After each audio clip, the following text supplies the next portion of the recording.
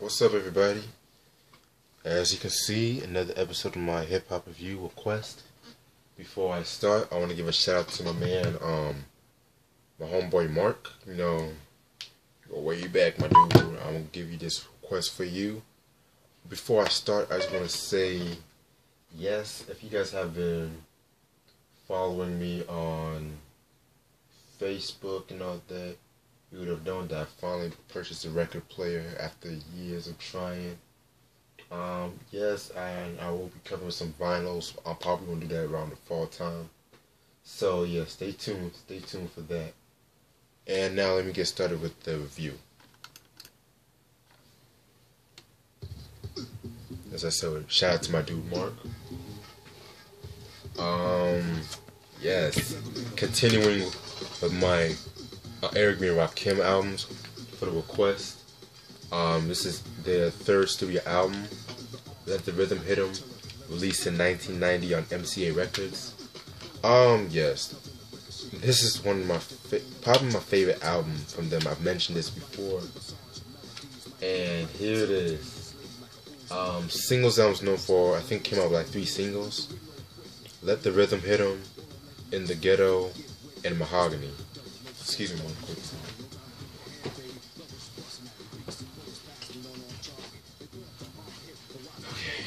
Now, a lot of a lot of things has happened between Ninth Follow the Leader and this album.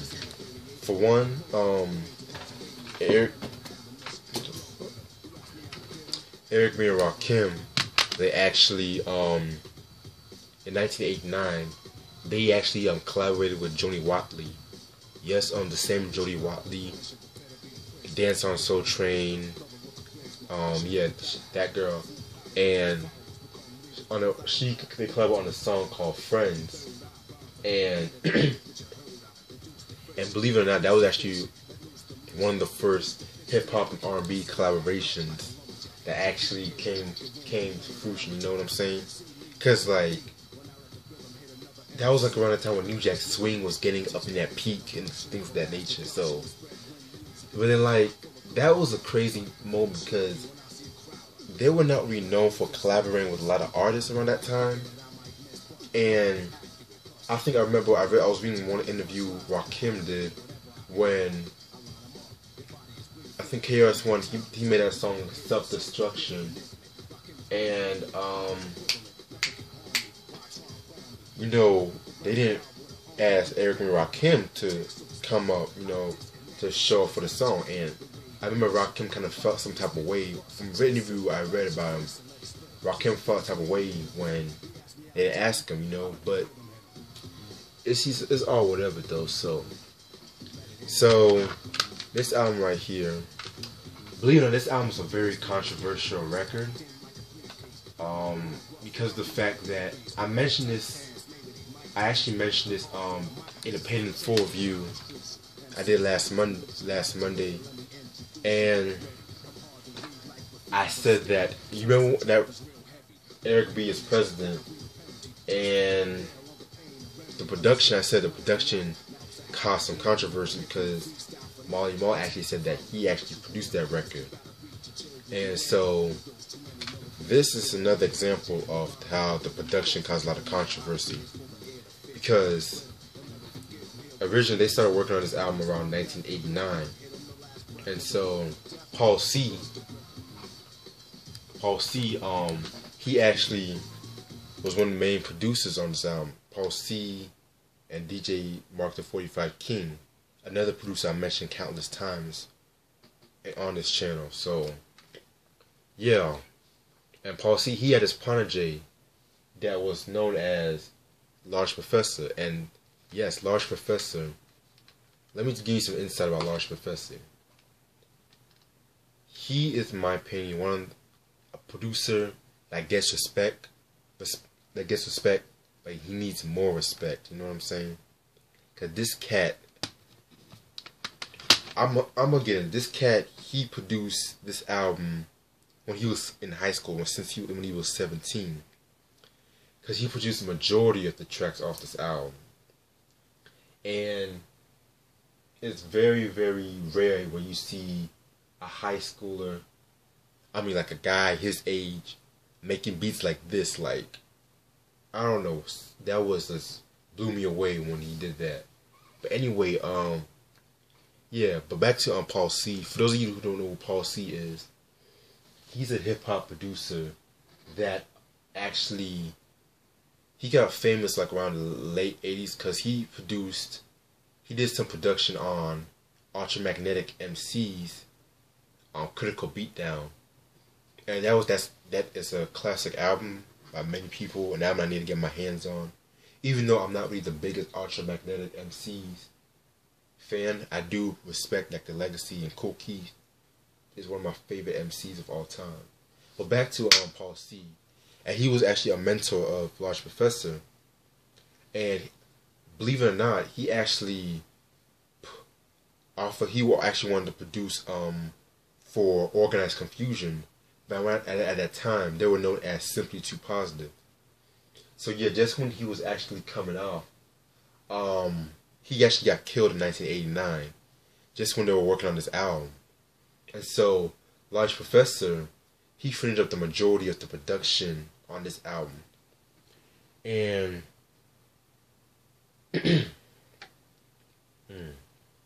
And so it's crazy because after this album was produced, he actually went on to produce um produce like the majority of Kool Keith. I mean, not Kool G Rap and DJ Polo's "Wanted Dead or Alive," which in my opinion is another probably my favorite album from them. It's a toss up between that or Live and Let Die. I always go back and forth with those albums. So yeah, a Large Professor, he was doing his thing around 1989, 1990. And as you can see, um, he went on to produce for like Main Source, then the Nas Illmatic, and the rest, as they say, is hip hop history. Now, this album right here, this is a classic album. A lot of people do not say it's a classic. I say it's a classic. No, this was a very grimy album. Uh, first of all, look at the album cover though.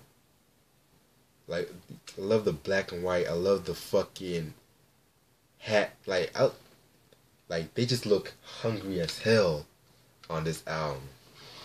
And I don't know. I, lo- I love like that's a dope ass. I mean, that's a dope ass hat right there. Rakim's rocking. That's a dope ass hat. I've actually seen that hat in stores sometimes too. Other than that, show the inside booklet. Um, yeah, you got all the songs right here. And um Rakim's dad, rest in peace, and Paul C. Yeah, so very, very, very dope album. Well, dope album. Another thing I mentioned, um, this album actually got five max mics in the source, and it was one of the first hip hop albums that actually get five mics.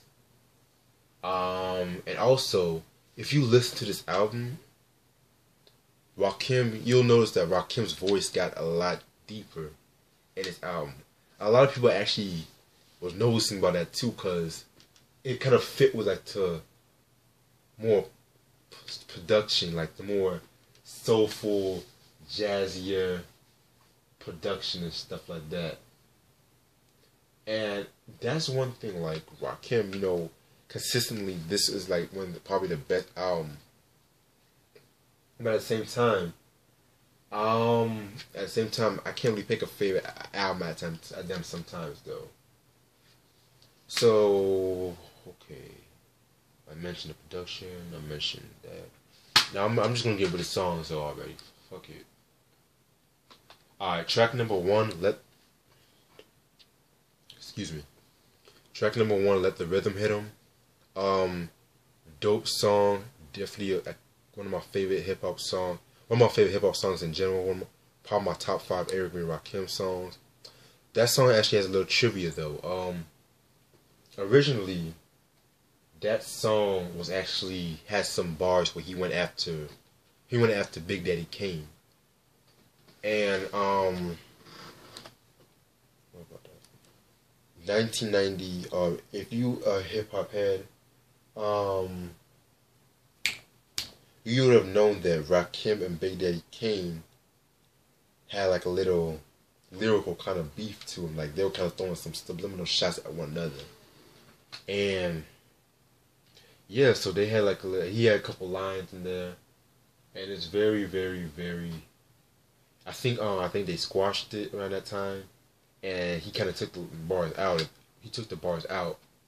So yeah, very, very dope song. That the I love the video to that song too. Um, nice way to start off an album. Nice way to start off an album too. Track number two, No Omega.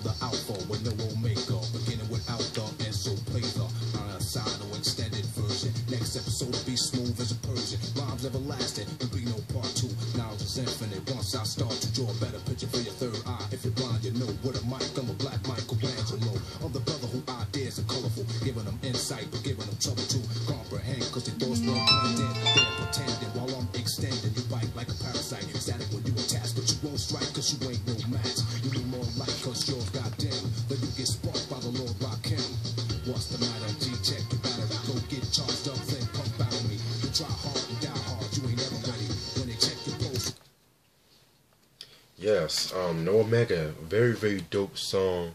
I love that funky ass jazzy beat, and that's another thing too. Like, this album is filled with like battle rap, like battle rap like anthems. Like he's going in on this song. Like this dude is rapping like there's no tomorrow. And one thing I've noticed about this song was like the breath control Rock Rakim Rakim was doing. Like he has, like I said before, he's a very good when it comes to breath control. Like unbelievable. Like I'm just speechless every time I hear this dude rap. And another rapper that's good with breath control. I never noticed that that that I don't notice another rapper that is good with their breath control, but I don't see him get a lot of recognition for it. Is Buckshot, you know. But I'm gonna save that when I do a review on Enta da Stage probably soon. Um, track number three in the ghetto.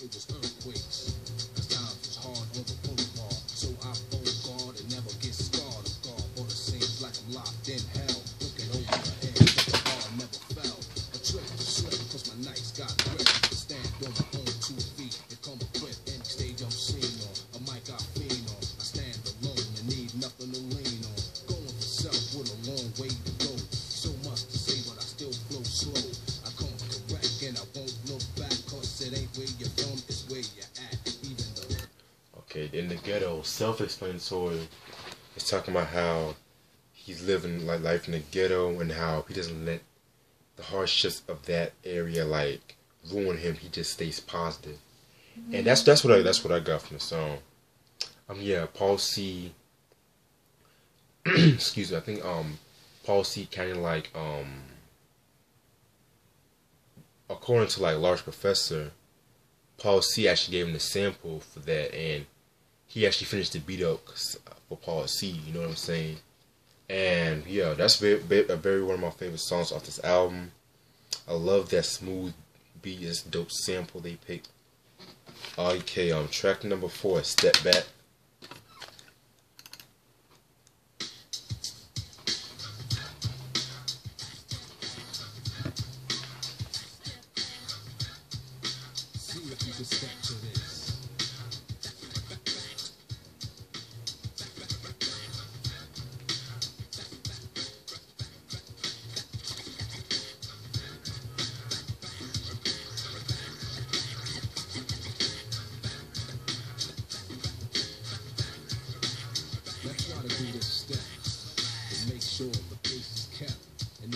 move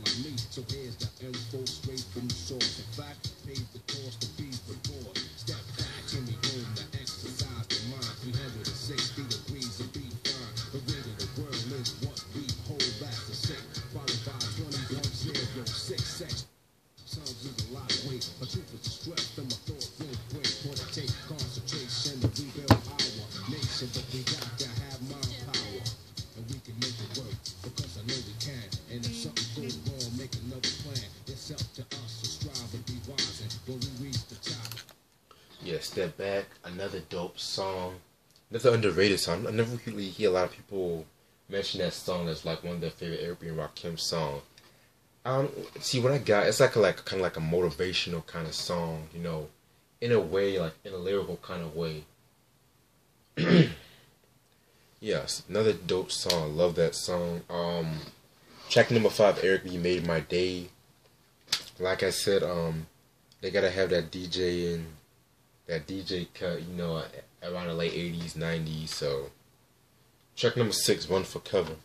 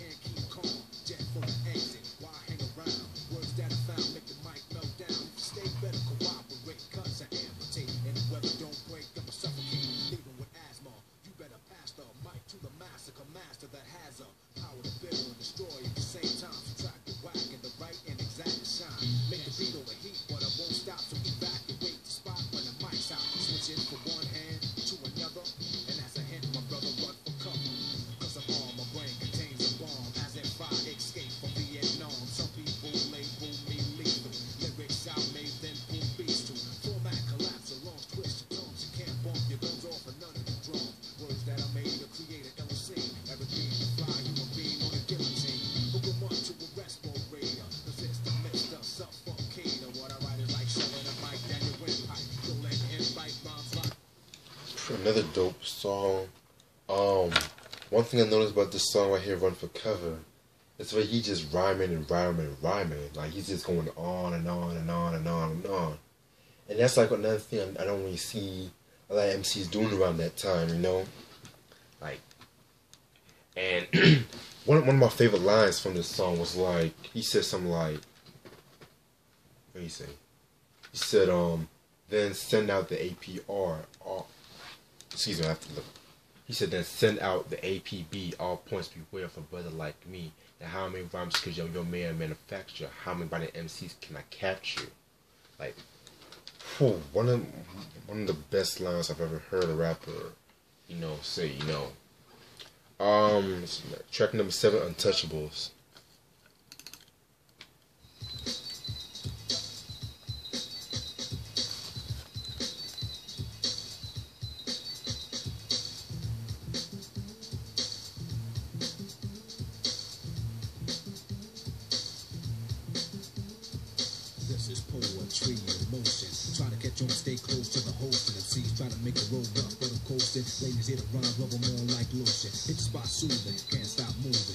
But sweat, you can bet I'm still cool. When I contain this a brainstorm, never the same from every brain I rain on is wrong. Taking a trip through memory lane and melody. See if you can tell if these thoughts the fallacies can do you justice. But you can't tell to some kid just try to bust this, but he just more merciful. So versatile with the style is versatile. I get away even if I say a curse or two. First, let me bust another verse for you. Your arm too short to box the walls are quit. You don't want no kind of conflict. Or you'll get stripped as the rhyme is ripped. Pick up the pieces, now ain't that piece, yeah, I'm hip. Everything I said flows since my intro. I plan to thought, extend, and then grow. Holding my pen tight, it might be controversy at first when I write be. Cause and research, don't just take it for granted. When I go on, my mind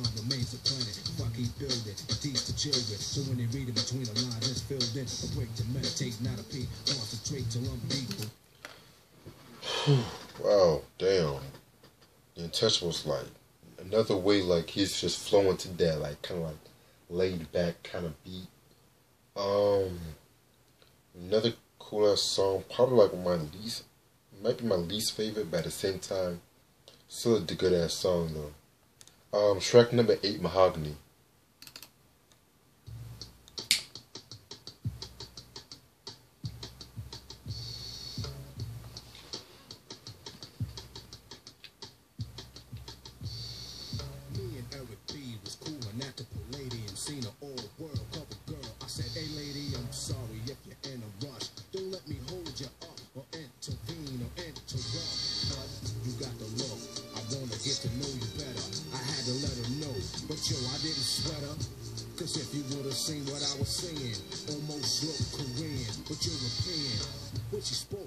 Accent was self-explanatory.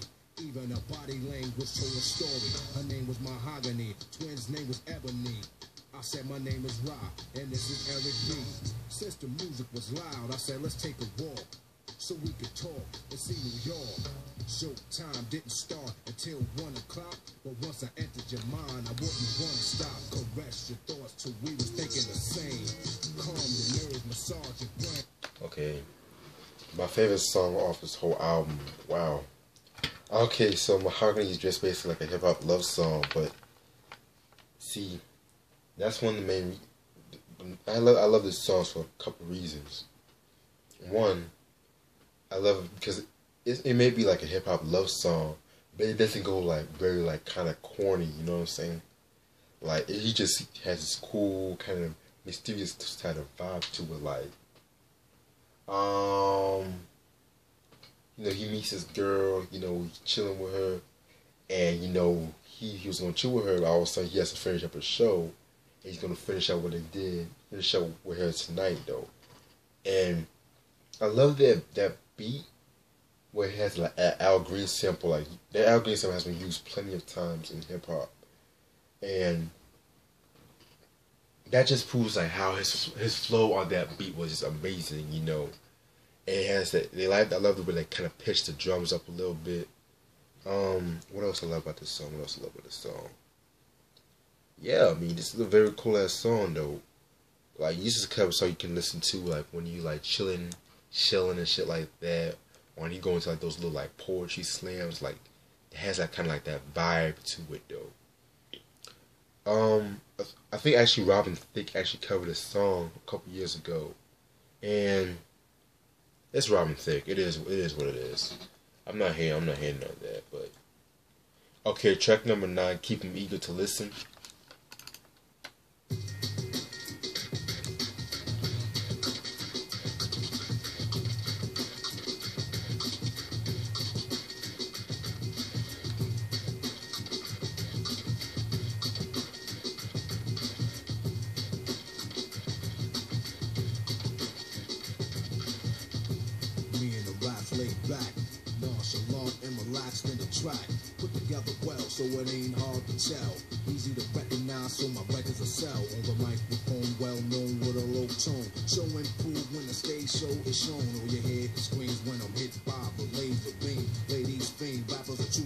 change.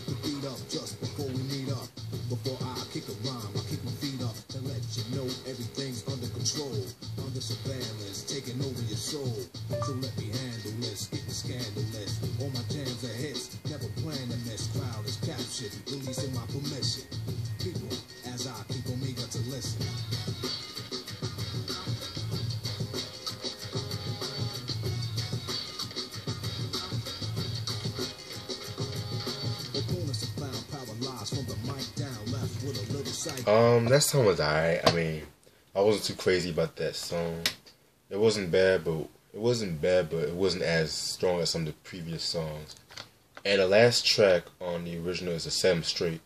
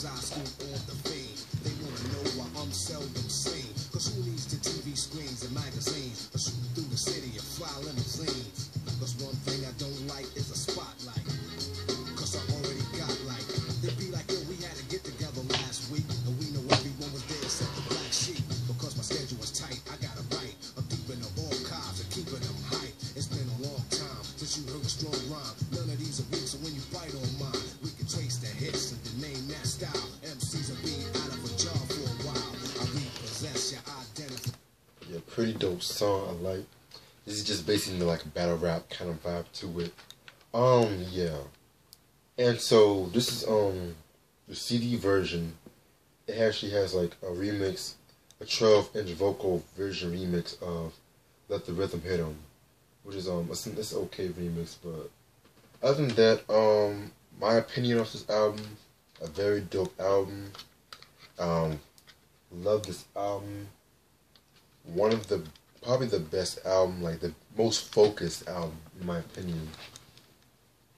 And this is just one of those albums where it just be like you listen to it and it feels like it could have been some of the production feels like it could have been remade today, like but at the same time though, it's like more darker than their previous projects, like and because it would develop more into like jazz and the funk and more soul.